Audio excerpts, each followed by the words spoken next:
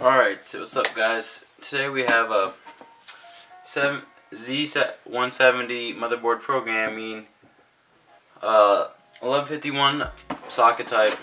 It's pretty basic.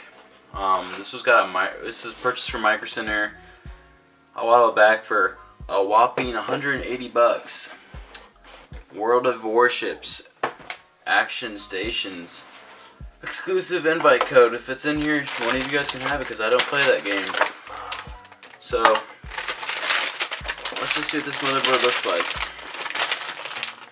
Has some good weight to it, not gonna lie. It's a pretty gorgeous motherboard. And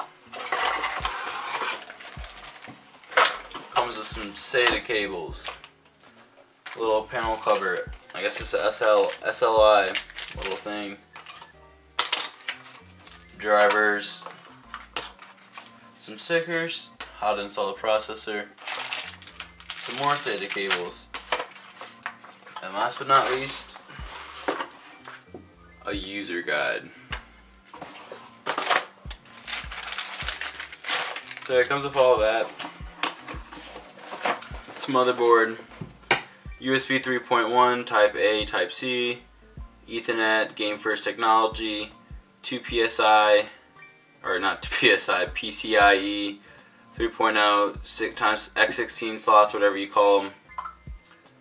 Um, Supreme FX shading, premium audio caps, Supreme FX LED lighting, Sonic Radar 2. Um, so yeah, it's, if you guys can see that, I'll focus it for you.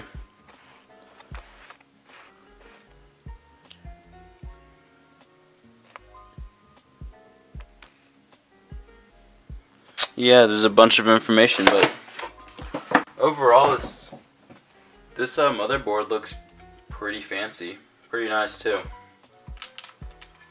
This is gonna be going to a little Pentium build. This Pentium's gonna go into it. Uh, Pentium 4560, and yeah, it'll be a pretty cool little build with uh, 8 gigs of DDR RAM and a 1050 Ti. Well, maybe just a 1050 or a 1050 Ti, I don't know yet. But uh, thanks for watching guys. Have a great day.